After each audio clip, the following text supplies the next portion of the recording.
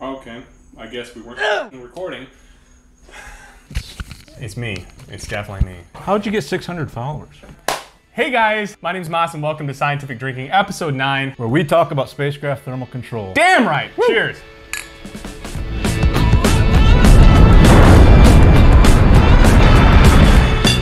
Like 99% as good as the first time. So. Yeah, I think I. it's gonna be an absolute shit show. Yeah. Uh, so tonight we're drinking Talba's LD's Belgian Triple Ale. Pretty good. I brought it back from a vacation when I was up there at uh, Asheville, North Carolina, somewhere you're pretty familiar with, Beautiful right? place to be. Yeah, beautiful place.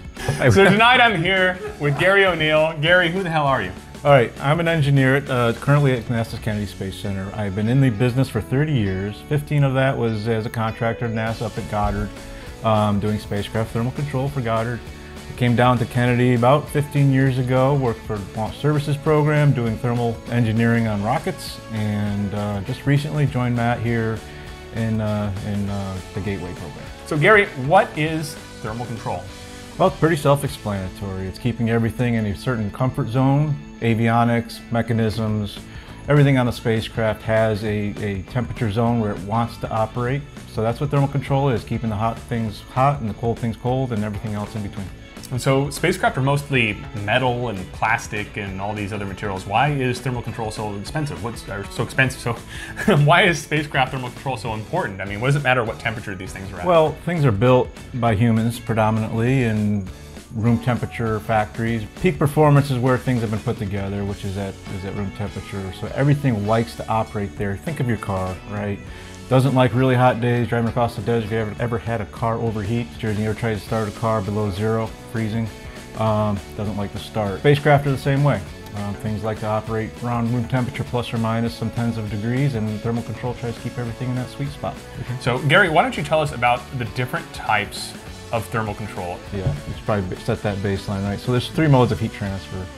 Convection, radiation, and conduction. Convection is you walk into an air conditioned room, you hear, feel the cold air blowing across you. That is convective heat cooling. Again, that's a primary mo mode of heat transfer when we're talking about pressurized volumes, crewed space flight. Conduction radiation, the other two modes are primarily what most spacecraft depend upon that are unmanned. Radiation is a body at a certain temperature radiates infrared energy away. Watch your cop shows and they got the helicopter flying over with their infrared cameras. They're detecting heat from the humans down on the ground. Conduction is when you touch something, a burner for example, you feel the hot stove, that's heat being conducted into your hand. It's, it's heat transfer through a solid material. You know, I did a little background research before I got in here because I don't know anything about You're gonna challenge me. I'm going to challenge you a little bit. I. I don't know anything about spacecraft thermal control. What's the difference between a passive and active thermal control system? Passive and active are pretty self-explanatory. Active in general means you're, the system's taking an action to change the energy flow in a spacecraft, whether it's turning on a heater to generate heat, or to close a, a louver or to move fluid around, um, that's active. Um, but active carries a cost. We try to avoid active thermal control as much as we can because it, it usually requires power. Passive is just what it sounds like. It just, the system is designed to self-modulate its temperature. So active requires power, right? So it seems pretty intuitive that you want to go with a passive system. So what's the deal with that? Yeah, we, we prefer to go passive as much as we possibly can because power is a precious resource when we're in space. Um, our, especially our, our near Earth um, orbiting spacecraft depend on solar power. Solar arrays are of certain efficiencies and have certain physical size. So the power budget's usually pretty tight. We want to put the power where it's, where it's most beneficial to our mission, and that is getting science data down. Um, we don't want to waste it on thermal control. So we try to do passive thermal control. Now, passive thermal control is pretty much as simple as black and white paint and multi-layer blankets, which if any of you have camped and you have those camping blankets where kind of a foil, mylar foil type material and layers, that's what MLI is on spacecraft, multi-layer, multi-layer insulation. And it's how we combine the paints, the insulations, and the materials to passively get everything in the right comfort zone based on where we're flying around the Earth. So how does the implementation of spacecraft thermal control change from low Earth orbit to lunar orbit to something like a deep space mission to Mars, Europa, or beyond? Yeah, and you might find it counterintuitive that, in my my opinion, um, passive thermal control and thermal control in general for low Earth orbiting spacecraft is more difficult than it is, for example, of our Gateway mission, which will be orbiting the Moon in that near rectilinear halo. Um, and the reasons are, you can see the picture behind Matt over here. Um, when we're in low Earth orbit, we're constantly um, going in and out of the sun. Very, very different environments when you, between when you're in the sun, have the sun shining on you at about 1400 watts per square meter, versus when you're in the eclipse when you got nothing. Um, so our spacecraft continually orbiting, going in and out of that sun every every 90 minutes, um, really challenges you as far as keeping your design simple and passive. Um, when you go out to the moon, particularly our gateway orbit, the near rectilinear halo orbit, it's really actually very simple thermally. It's pointed at the sun 90 plus percent of the time, um, always in the same attitude to the sun. So I always know where the sun is. Um, you don't spend much time going past the moon. You're pretty much in deep space pointed at the sun. Pretty good conditions for a thermal guy to do his passive thermal design. Now, as far as passive thermal design goes, a lot of times when you're on an aircraft, commercial airline, right, going from point to point, you're surrounded by below freezing temperatures outside of the aircraft, but you don't notice it. You're pretty comfortable inside. So, how much of the, the technology that's made it into the airlines has been developed by NASA? On an airliner, I mean, what your what your point you're you're touching on is the pressurized volumes for our astronauts in space versus you know compared to the aircraft, which is very similar. I mean, we condition the air we push the air around, um, remove the humidity, remove the CO2. That is not passive. I mean, that is active thermal control. We need active thermal control for our crew. There's no getting around that. Um, we have to keep our crew comfortable. We have to keep our crew healthy. So we do spend a lot of our, our, our thermal resources on the pressurized volumes for our crew, while combining that with the minimization of the overhead costs of thermal control for our, for our non-human cargo, um, avionics and such. So let's talk about uh, unmanned mission. You, you told me before off, off camera that you were more of a spacecraft guy. Yep. Um, so for unmanned spacecraft, for example, let's the, the Juno mission, uh, maybe you didn't work on that, but uh, what about thermal control for something going around Jupiter? What specifically are you going to need to take into account for that kind of mission? Well, regardless of where the mission's going, if we're going to a, whether it's low Earth orbit or some other planet in our, in our system, you have to know a bit about the planet you're going to be orbiting. Each planet has a temperature um, that it radiates long wave radiation, infrared heat radiation to the spacecraft. We have to take that into account as to how much heat we're getting from that, that planet we're orbiting. Then, you know, uh, the amount of solar heat we're getting from the sun based on where we are going to be positioned in the solar system. So those are the two critical things. And then um, proximity to the planet, how close we are to that to that uh, that rate that body that's radiating heat. What our orbit is, again, going in and out of the sun, helps us characterize what the environment will be on a recurring basis. So um, those are the basic big hitters for, for what we have to uh, uh you know keep in mind when we're coming up with a thermal design for any planet in the solar system. Doesn't matter which one.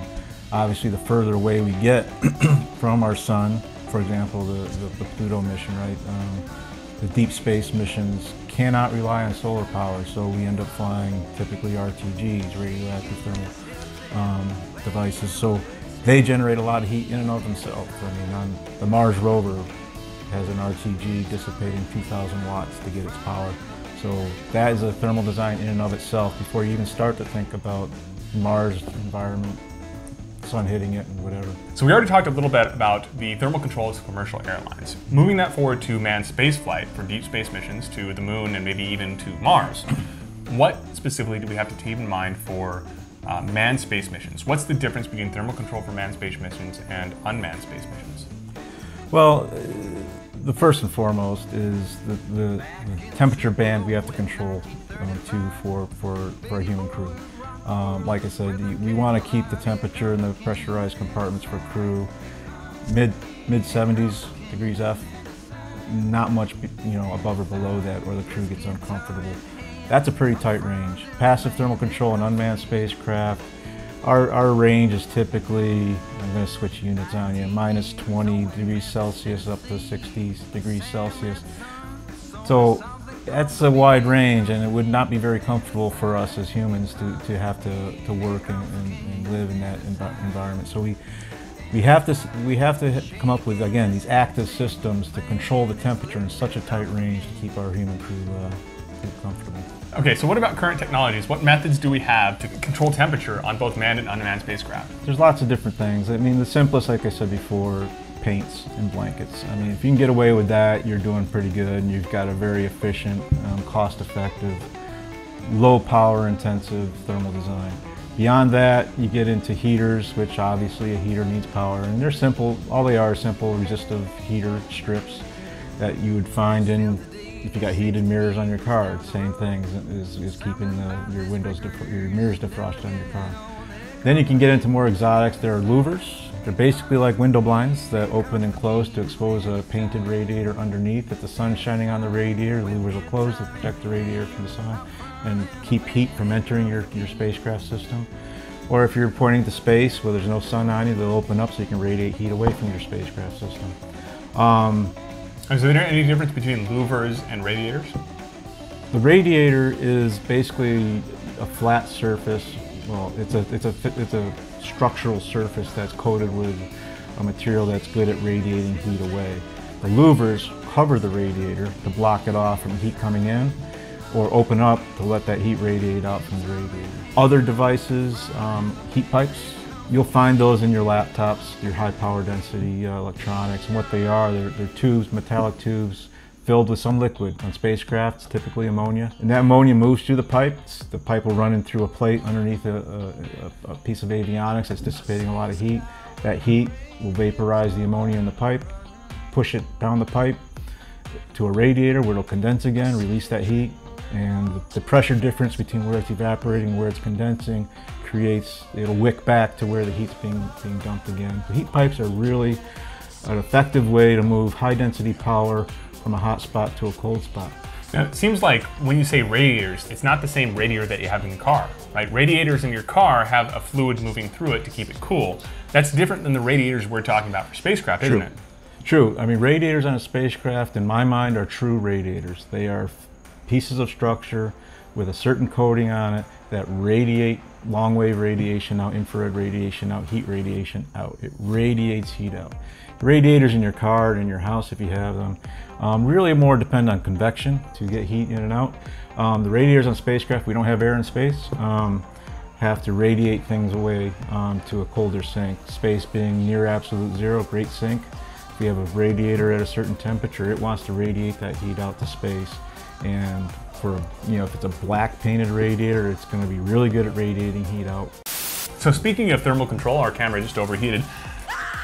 Uh, one of the most iconic features of the James Webb Space Telescope might be the sun shield, and indeed, indeed the future telescope, the LUVOIR telescope, is also going to include a massive sun shield, which is a mechanism for spacecraft thermal control. What is the benefit of a sun shield over other methods? Well, I mean, it, it, it all, it's all mission specific. A sun shield is a deployable device. I mean, there, and I consider that a negative, but sometimes you have to do it. Um, well, why is it con uh, considered a negative? Anytime you have to deploy something in space, it's, it's an added risk that it, you know that that deployment goes successfully. Moving parts are kind of a downside. Moving parts, right? Yeah. Um, so sun shields. I mean, if you're going out closer to the sun or you have particularly cold items you need to keep really cold, a sun shield may be your only option. That's basically all. It's an umbrella that deploys. You open up an umbrella once you get into space to put your your your item that you need to keep cold into a shadow and, and, prevent that solar radiation from hitting it. James Webb needs it because I'm, I'm, sure they have detectors that have to stay cold. Keeping detectors cold is one of the things I had to do when I was at Goddard. Once you get that sun shield deployed, it becomes basically a passive thermal control device. So it's an effective way um, to keep things really cold because once you're out of the sun in deep space, it's really, really cold. So one of the questions you might be thinking is why didn't the Hubble Space Telescope have one of these? Well, the Hubble Space Telescope's detector were contained within a tube, so they didn't get exposed directly to the sunlight. It did not need this kind of uh, elaborate method of thermal control. Yeah, and I worked on a spacecraft in my past where the detector had to be kept around 65 Kelvin. Doing that in low Earth orbit was really a challenge. We had the detector suspended in Kevlar strings so it minimized the heat being conducted to it. Then the big challenge was keeping the sun from reflecting onto it, both the sun directly and then the sun being reflected off the earth back up to the spacecraft. It took some very precise uh, construction and surface finishing to make sure the sun didn't backscatter into our detectors. Can be done passively, but it takes a lot of talent and a lot of hard work and testing to make sure it works properly. So the sun shining on you doesn't really seem, seem like too much of a bad thing, right? What's the difference between the sun shining at you at the surface of the Earth and maybe in orbit? Well, the atmosphere does filter some of the sun from us, right? The intensity reaching the Earth is on the order of three to 400 watts per square meter, I think. Earth low Earth orbit, it's around 1400 watts per square meter. It's odd that you can be in a single point in space, and if you're facing the sun, it's too hot to be intolerable. If you're on the opposite side of the spacecraft facing deep space, it's too cold to be tolerable. And the spacecraft thermal design is, is such that we distribute that heat advantageously to get it where we need it to be. Doing it passively can be very, I, I call them elegant designs. And I'm going to bring up another mission I did work on under the LSP, and that was LCROSS. It took a Centaur upper stage, flew it to the moon, and impacted the moon. The challenge we had was to keep the separation system in a comfort zone, thermal comfort zone, so that it would operate once it got to the moon. That system is a clamp band that, that fires some ordnance and, and, and, pops open so that the two, the LCROSS spacecraft and the Centaur upper stage can fly separately. Same separation system that they use today. It had never been used after multiple months of flying to the moon, but it was a high risk tolerant mission. We, we, were, we were able to take some some challenges on that and some risks on that, and we did. So we modified their Centaur stage by painting it. So we knew what, what, what, its position was going to be relative to the sun. As a thermal guy, I want to know where the sun is, and we wanted to keep that separation system in a nice um, thermal comfort zone, and we also wanted to minimize the gradients across the structure because gradients cause structure to do different things, whether it's hot or cold. So if we can minimize that, the better the structure would be relative to what it was on the ground. So we painted the outside of the Centaur support structure white on the sun-facing side. White is a color that that minimized the absorption of the ultraviolet ultraviolet rays. So By reflecting light, right? Reflects light. The inside of the structure we painted black. We black is really good at that long wave infrared radiation. It'll want to reject that heat out and the reason we did that was it helps isothermalize that structure. So we're the hot side on the sun, we're minimizing the heat coming in, but we know we're getting heat from it. That heat coming in, we're radiating around to the other side of the structure to keep that backside warm. So we, we were able to, to, to passively manage that system to keep it in what we call its qualification range. That's the range, the temperature range, which we know that that hardware will function. Um, we tracked it while it was flying to the moon. We had a temperature sensor relatively close to it that we were getting data back from and our analysis, our modeling um, indicated that we did a pretty good job at getting, keeping it where we wanted it. Um, not to brag, but I think my, my model correlation came within a few degrees of what our telemetry was saying.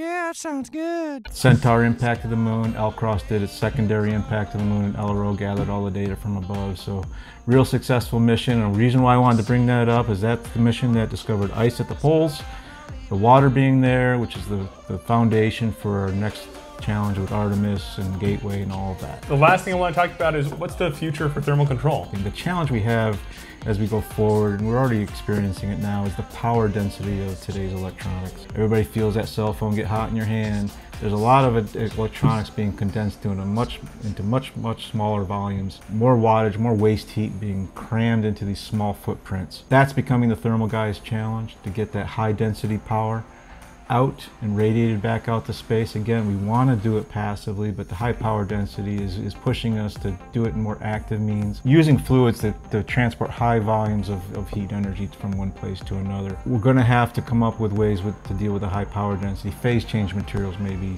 um, and that's when a material melts and takes that energy uh, away just by, by putting it into the melting of the material. One thing I did do see being developed at KSC, it's called Solar White. It's a super low absorption white coating. I mean, in the sub 1%. If it turns out we want to get a flight experiment to see that its properties are true, that would be a game changer. That would allow us to transport cryogenic propellants and keep them liquid with, with, through passive means, which would be a huge facilitator to deep space missions. Be able to carry our propellant and not have to spend a lot of power on keeping it cold. All right, so thanks for joining us in Scientific Drinking episode 9.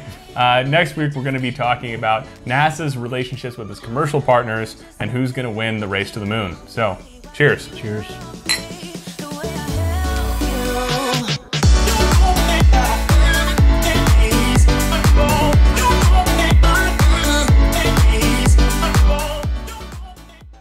How about an episode on how not to drop your expensive triple beer? Get a grip. Get a grip. Get a grip. Get a grip. I like it. The friction episode. Could do it. Could do it. God, I'm glad that's over.